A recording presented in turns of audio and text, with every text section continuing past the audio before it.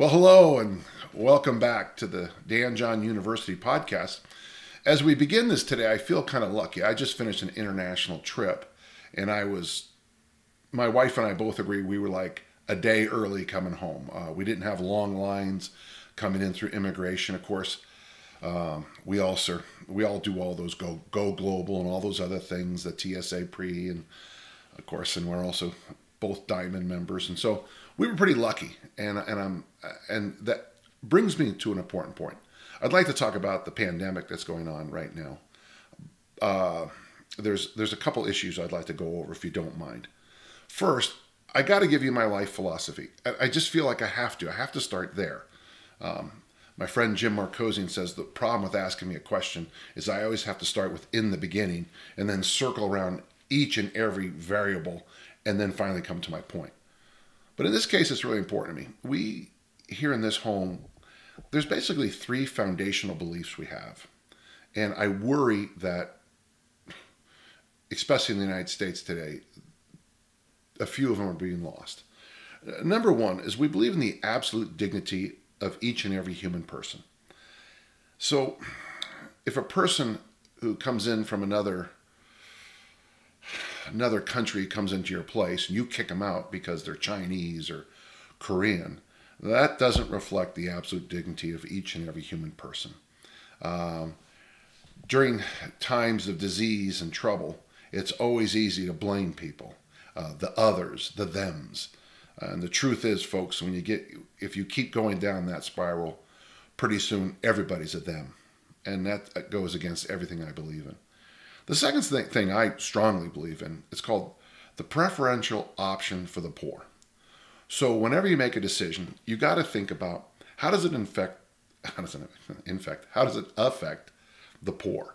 How does it affect the deaf, the blind, uh, those who need a little extra lift up for just normal? Well, what's happening in states right now is that they want to close all these schools and then they want to go to online education. My wife Tiffany and I came uh, uh, basically paid for an entire program a few years ago called COW. And it's called Computer on Wheels. There was a school here locally in which the bulk of the third graders had no computer at home and had never used a computer. So we we did the COW program. We bought them classroom sets of computers so that the kids could learn how to use computers. Well, God bless them. I hope it makes a difference, and I hope it makes a difference in one of those kids' lives, and that's that'll be great. But here's the thing: those same children go home and are expected to do online education without computers. Many of those same kids get their breakfast and lunch at school. So when you close school, there's a gap, and that gap is breakfast, lunch, online education.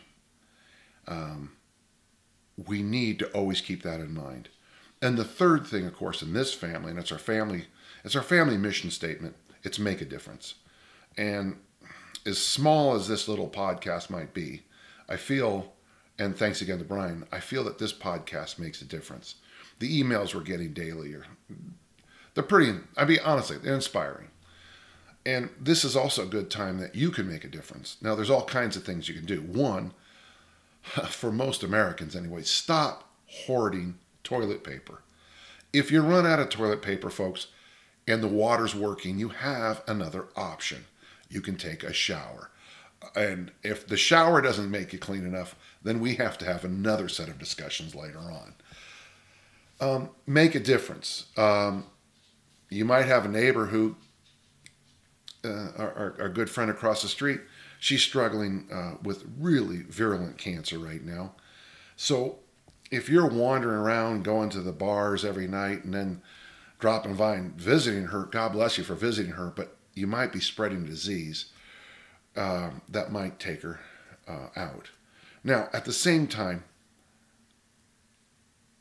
the, at the same time, you know, I don't know how to say this, but I was fortunate in a way. And this is going to sound strange my mom, who, who died August, uh, uh, pardon me, October 2nd, 1980, um, as late as August of that year, she was still fairly active.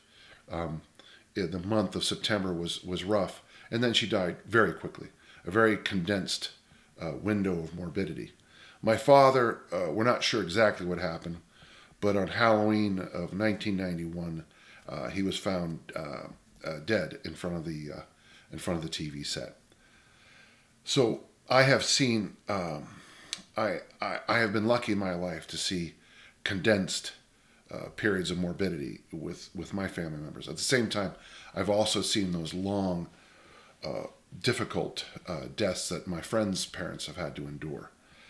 Um, death is part of life, um, and I know in my own case that uh, I am closer to the end of my days than I am to the beginning of my days. But I also would, would not want to be the person that gets the finger pointed at me to bringing something preventable like the coronavirus into somebody else's home or to be part of the system that allows someone to die too soon.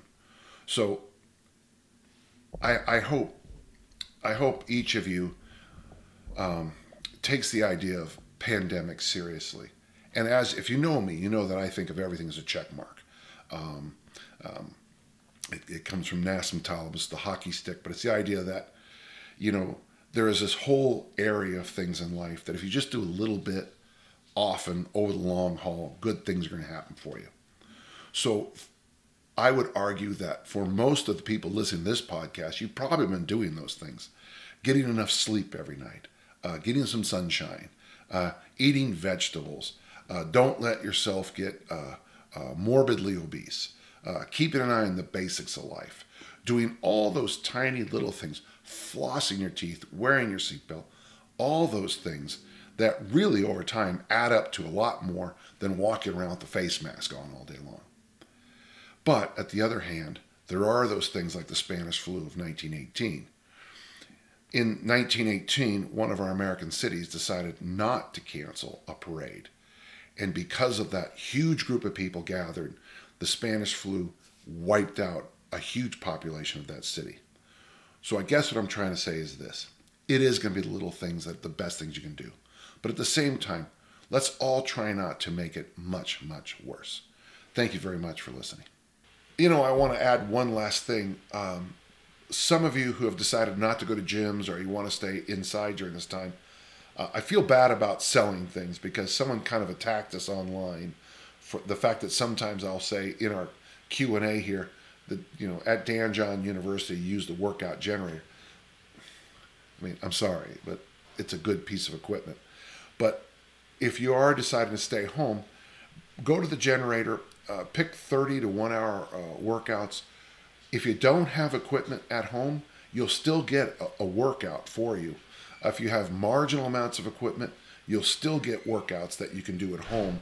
Um, and I, I guess I guess if there's going to be an upside from this pandemic, one little upside is going to be the fact that some of you will appreciate the importance of having a minimal home gym.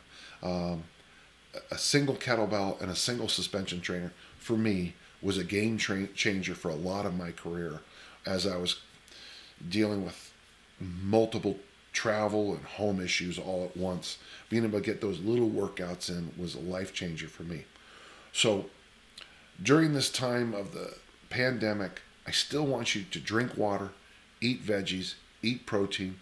If you're home all the time, practice, you know, lower your stress levels, uh, get a workout or get a workout in in every day between 30 minutes and an hour using your own facilities at home and maybe come out on the other end of this better and brighter than ever. Okay? And good luck to you. We have a question from Jay here. Jay, he asks, I wanted to get your thoughts on the optimal number of hours to fast each day. So, just to, just for uh, clarity, folks, he asked optimal hours to fast each day. Now, we all know there's multiple, multiple fasting methods. Um, you know, I've I've heard of people online having success with fasting windows of four to seven days. Um, uh, we know that the uh, uh, uh that some of the uh, Irish uh, fasted for longer than that during the during the during the troubles um, on those on those starvations.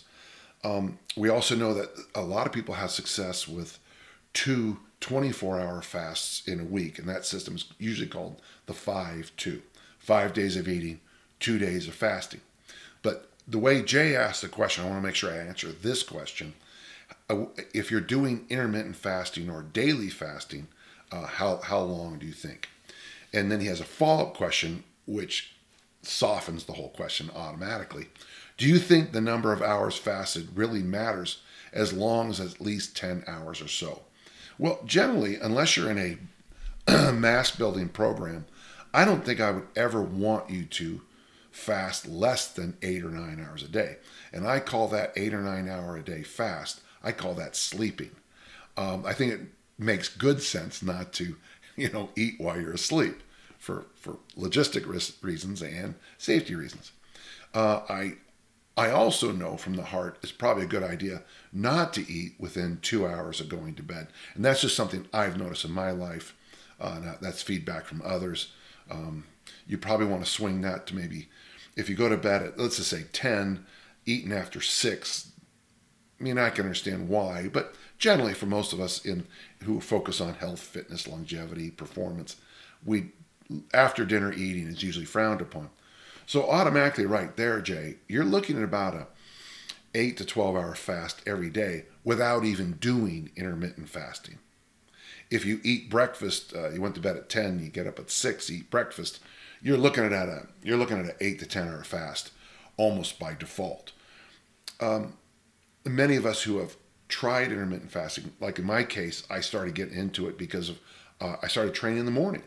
Uh, I started training at 6 a.m. because of career and other stuff. And pretty soon I noticed that if I held on, if I fasted, worked out, and held that fast for a few more hours, I was able to get a lot more, you know, work work done. Um, Men's Health came out with a book a few years ago, which upset some people because they said they invented fasting, where they argued a 16 hour fast every day. Um, so I think you're probably right. I would say at least more than 10 hours. And, and the only reason I would say that, Jay, is that for the bulk of people in health and fitness, they do a 10 hour fast by default daily all the time. Do I get more benefits as I push my fast longer and longer every day? Uh, Monday, Wednesdays, and Fridays, I fast sneaking up on 18 plus hours a day simply because my, my training session's at 11 a.m. and I'm holding on to my fast through it. The workout takes an hour, hour and change, get home, uh, make my meal. Are those days better than the normal days where I fast probably, you know, uh, 13, 14 hours? I don't know. So that's one of the kind of the lost things, Jay. I can't really answer specifically, but I think you're on the right you're on the right track there. I get more work done fasting, but that's a trick I use with myself.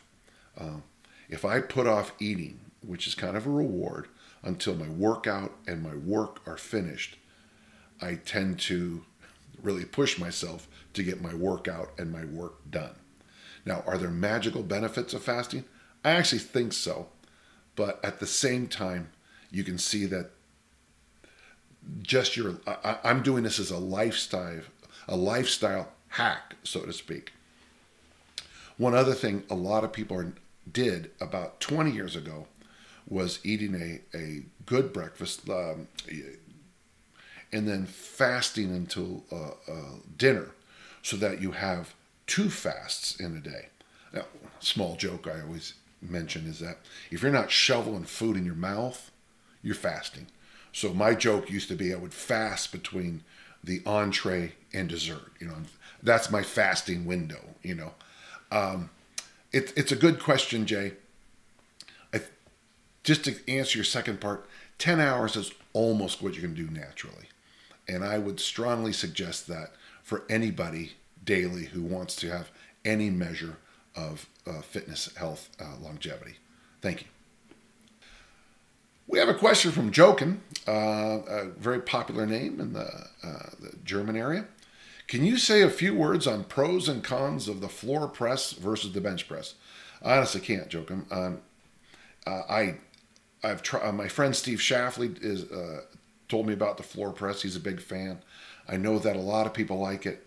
Um, no, I am never a big fan of anything that would stop your elbows from going back, only because as a person of broken wrists, that uh, that floor press press position is literally how I broke my wrist uh, in apart. Of course, a, a, snatch bar was flying into it, but um, so I really can't uh, talk about an exercise I don't do, I've never done, and I've never had any of my people do.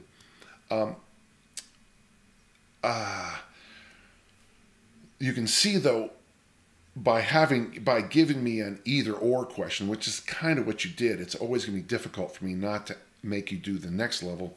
Uh, i think both of those uh, don't compare to the overhead press the military press um, even uh, the incline press which was my uh, maybe my first love affair as, as a young as a young lifter. Uh, i still think the overhead work is going to be superior. Sorry i can't really answer that very well you know, you know, I got to tell you, this question from Amanda, I really like because it actually, I don't know how to say this nicely. It kind of upset me, it, it, but you'll see why as I go through the question. Ready? You reminded us all to eat our vegetables. Yes, yes, I did, folks. I mean, wow, what a what a reach that is. Hey, eat your vegetables, eat protein, drink water. Mind blowing. I've been getting in more veggies at work via soups and yes, I buy the cans with the easy pull tops. It I do too because it's much easier and it takes a lot less self-discipline to open that can. And as I was eating one of my soups, I commented to my boss, getting my veggies, to which he responded, "Oh, I don't think that's what Dan John meant." He went on to say that the soups are high in sodium and that he took your veggie recommendation as raw vegetables and salads.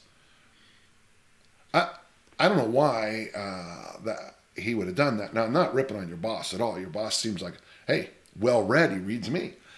But really, when I work with a typical American, you know, in the last week, somebody reported they had never seen the President of the United States eat a vegetable. I want you to think about that. Oh, by the way, another person reports they've never seen read a book, but we don't want to comment on a person who doesn't read books or eat vegetables. But never eating a vegetable. So here's the issue I run into all the time, Amanda, is most Americans, well, we are slided into most Americans are obese right now, right? We're, we're on our way to it. If it hasn't already happened, we're there.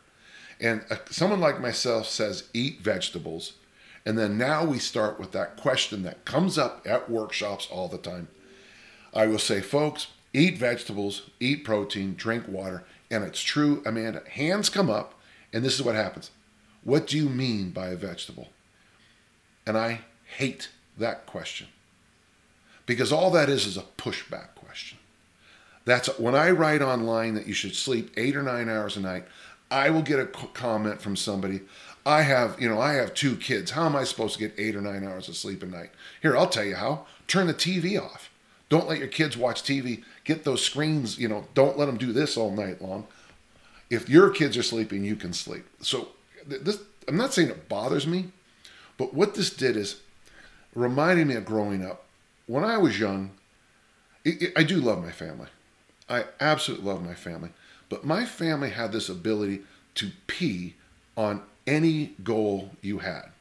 To the point that I finally learned, I was probably in the ninth grade, to stop talking about my goals, except with my sister Corrine, which is why when I tell the story about how in the ninth grade I decided to go to Utah State University and throw the discus for Ralph Maughan, the only person I told was my sister Corrine. And I don't know if she's ever told anybody else. But one of the things I wanted to do as a kid, uh, when I, I, worked as a, as a, a bouncer in a bar, is I wanted, and Greg Winslow and I were going to do this, we wanted to open a beer bar that only had like three or five different taps at three or five different locations. And we, here was the idea is that everything was done with self-serve, you know, with cards. It was a great idea. And I went and talked about it. And my family said, well, you'll, it'll be long hours. You, you'll stay up all night. And all they did was find problems with my idea about opening my own bar. Uh, when I want to do different goals, the thing that would always come up was problems. It would pee on everything I did. My brother, who died last June, when I finally got my first starting position in American football, I came home and I was so proud. And he said, Well, everybody ends up starting in football. And I remember feeling, thinking, What was I thinking of saying something positive? So let's do this. Your boss is right. I recommend raw vegetables, um, 300 pounds of raw vegetables a day, uh, or 400 pounds uh, if you can get that in. Um, you're also right. I love the convenience of those darn pop top canned vegetable soups where you go like this. I sneak in, honestly, probably one or two of those a day. It is sometimes when I'm just like, I got to get something in, it's so much better than potato chips, he says, until he catches himself and he reminds himself that if there's potato chips while I'm cooking the vegetable soup, I'll probably be knocking it out chips. So, now back to her question. To which I responded that I have no blood pressure issues and thus am not concerned about sodium intake. Oh, by the way, here's how to get around that, Amanda. I buy the low sodium veggie soup. Uh, I also buy the low sodium V8. And on Sunday mornings, if you take a low sodium V8 and you add vodka to it, you have a healthy morning drink. I also commented that I know you have referenced in your books and podcasts that you make stews to get your vegetables. So, my question, or what I would appreciate hearing you riff on, well, you got your riff, uh, is what do you mean when you say eat more vegetables? In what ways are you getting your eight different vegetables a day? Um, Brian will tell you, anybody's ever come train with me will tell you. When I go to breakfast over at Landmark after our workouts, I order the veggie omelet. Uh, if there's a, they have a, two days a week, they have uh, veggie beef soup, and I almost most of the time with oh, and then I have it's called Leo. Leo was one of the great wait staff over at Landmark. I have everything we call it Leo carbing, where you add on to everything your whatever else you have. They pour on all the vegetables they have at the place. I also, anytime I make any kind of soup or stew, I'll just pour the bag in. One other good thing to do, uh, and, and Amanda, this isn't a bad idea, try to go to an all inclusive place sometime. And as you serve yourself, um, I've noticed this in Okinawa, Hawaii, Jamaica, and a few other places, that if you eat the cultural foods of the area, almost always the food is heavy in beans, light amounts of rice, and tons of vegetables. Costa Rica's breakfast is basically that with, with eggs in it. And so for me, one of the things I'd like you to think about is the historical cuisines of most places. Uh, you know, if you will, eat more native. And when you when you come back from these different places, and I asked the wait staff and the and the and the and the, and the chefs all the time about this, they'll always have these little regional foods that are just loaded with vegetables and extremely inexpensive. I believe in Jamaica it's called callaloo, and it's we would probably call it like a kale or spinach, but there's also a varietal of peppers in it and onions, and it's just a breakfast side salad, a, uh, a breakfast side dish, a side salad, and it's very simple. So those are the ways I do it. And thank you for a great question. And you and your boss need to sit down and hash out this argument about whether or not soup in a can is a vegetable or not. We got a question from Chris, and in this question from Chris, um, I, I had to go on to my NFL Sunday thing, and in the question, my first thought was, "Come on, man!" So here we go from Chris. I was reading through some older articles, and you mentioned that if we add in the push up in the HKC3 swing, goblet squat, Turkish get up, it would provide a good program for health and longevity. So, what does the push up do that the Turkish get up, swing, and goblet squat cannot do? And my notes to myself right here are come on, man. so, the push up, it's, it's a push. And if you do a lot of them, you're, you'll have doorway, door wide shoulders and titanic triceps and purgatorial pectorals. It's a pushing exercise. The downside of the the HKC3 is there's no real true push. Um, that's why when I teach the HKC, I always teach people the half kneeling press and the press as just a sprinkle on. And I go in great depth into the push up too. It's a push. There is no push technically in the HKC3. Secondly, can I indeed fulfill all my bases of strength with body weight and kettlebells? Yeah, uh, if, I mean, not if you want to be a world class power lifter. That would be stuff you do in the off season or in general training, yeah. Uh, yes, but not if you want to be a world class Olympic lifter. You'd have to snatch and clean and jerk, I think. Uh, so yeah, uh, it would depend on what you think your your bases are.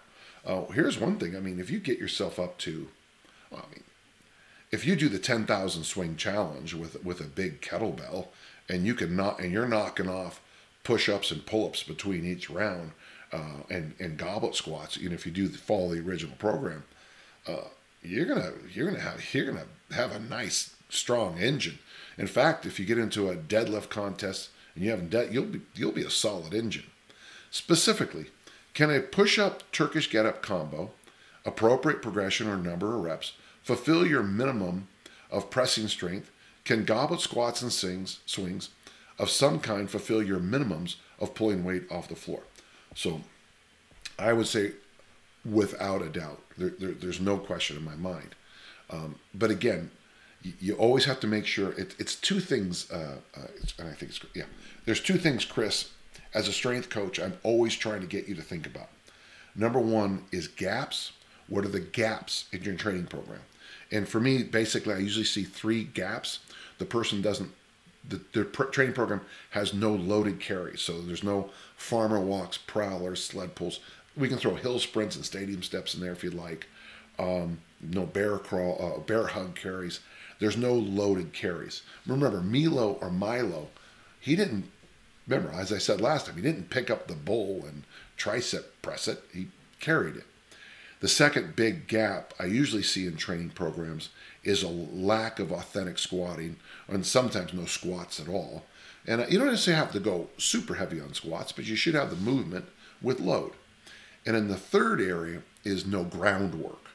Uh, and that's what we call this. What's part of the sixth move in, our, in my my family of teaching this. Um, never in the training program they see the person getting up and down off the ground. Uh, there's no tumbling. There's no groundwork. It's like the ground is like, you know, you don't touch it. Um, the nice thing about what I'm seeing here uh, from from your idea, you you you're covering those uh, fairly well here.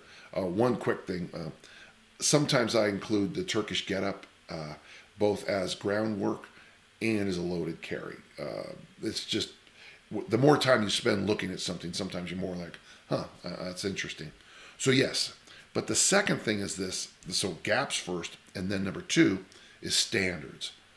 Um, as a discus thrower, you know, you need to clean 300 pounds. You need to squat 450. You need to bench 400.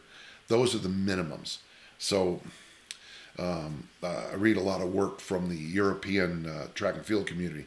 Their standards, and I'll change them from, I'm changing these from kilos to pounds for clarity. But it's a 200 pound snatch, 300 pound clean, 400 pound squat. And it doesn't matter what event you're doing, from pole vaulter to thrower, you've got to be that. That's your base, that's your standard. But if you're not an elite thrower, you don't need those standards. So you just need to figure out what would be a good standard for you? Thank you, Chris. We have a question from Rob. What are your thoughts on sumo deadlifting for general strength and or sports performance? Now you just separated the two things. Um, sports performance, there's only one sport that would come up in, and that is powerlifting. Uh, if you're built to sumo, you sumo. Uh, if you're built, if you're born to do conventional, you do conventional. Um, it would be a uh, this sounds crazy it would be a knock i have on powerlifting because it's just a small thing but the in deadlifting the bar is the exact same space on the floor for every body type from the lightest, shortest competitors to the biggest competitor in the thing. It's not a knock, but it is, it's the sport. So in the sport of powerlifting, if sumo helps you, sumo helps you. Okay, and and if it doesn't, you, you, it doesn't. Now for general strength, uh, I I don't usually recommend uh, uh, the the from the floor deadlift for general strength training. Uh, almost universally now, I have people move the weight up a little bit um, to be in a more appropriate position for the hinge. Uh, if you're built to be able to hinge from the floor, uh, g- good for you. But probably anyone past five nine, five ten in height has to move to the to the rack deadlift family. Um, so for me, general strength, um, I, I, I don't see it. So make sure you separate that out in your mind, Rob. If you're competing, it's an option for you as an athlete. If you're not competing, you would have to weigh that in to how it fits with what you want. Okay. We got a question from Dave, and actually, it's a really easy question for me to answer, uh, Dave. What are your thoughts on bigger, faster, stronger program for high school football players? You might not know this, Dave, but I worked for that corporation for a couple years. If you can, if you can find the old videos, which are kind of fun, like the power clean, its variations, it's like a one-hour video. That's me. I'm doing the power clean video. Um, I'll be at workshops sometimes, and it's weird to think how long I've been in the business because a a balding coach with 30 plus years experience in the weight room will come and say, I watched your videos when I was first coming up. And I'll be like, oh my God, I feel old. Um, in one of the videos, uh, Greg, Greg Shepard says something that's not right. And I wanted to correct him, but it was his video. So I had to do, uh, I had to power clean 315 pounds 10 straight times for video. And he kept telling me that my finish was incorrect because I was finishing here, and he taught that you were supposed to look at the ceiling as you finished. Well, it's well, I mean, might be possible with 135 pounds, but with that load, it's not possible. And I didn't feel like it was my place to correct him. And I look back in hindsight and I realize I should have corrected him then because people are listening to him make that uh, not solid uh, coaching point. For those you don't know, Bigger, Faster, Stronger is a combination of just about everything in one program. Uh, there's nutritional things, there's warm up, there's agility stuff. The uh, strength program is based on combining uh, power lifts and Olympic lifts. Um, they really pushed the trap bar before anybody else even knew about it. Uh, they only Olympic lift one day a week. It has box squats, it's towel bench press or bounce bench press now. I don't know what to call it now. Um, the system is pretty simple. You'd start off week one is three three sets of three. Week two is uh, five sets of five. Week three is a bit of a, a heavy heavy week. I think it's five three as many. And then week four was always the problem, and I feel like my work cleaned it up quite a bit. We we changed the numbers around. Uh, basically, it was a deload week that made sense to no one at all. Uh, week four, you were supposed to break your personal records. Um, is it a good program for high school football? Yeah.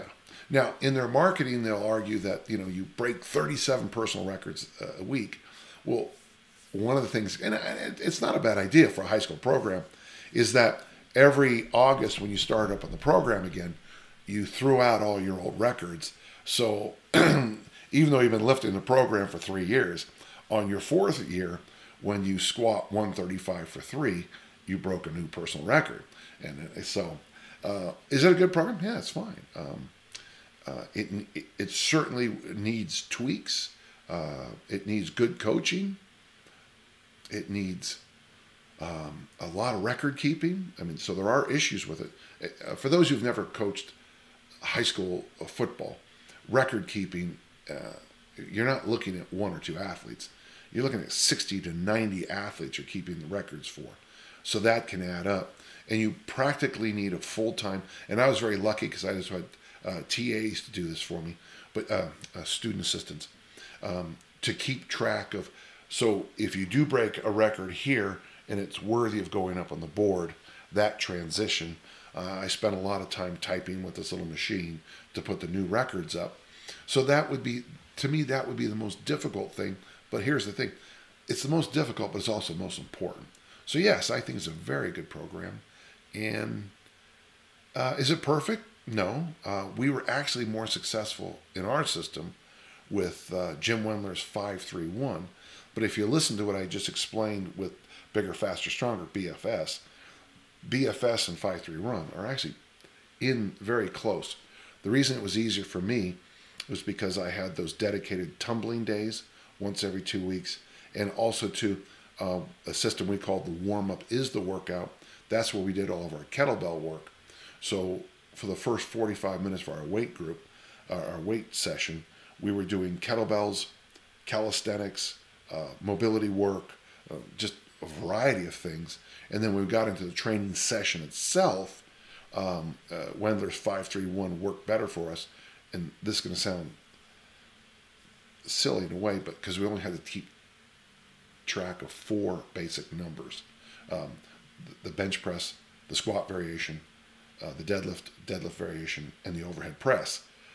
Uh, that's sometimes just the amount of record keeping got in the way.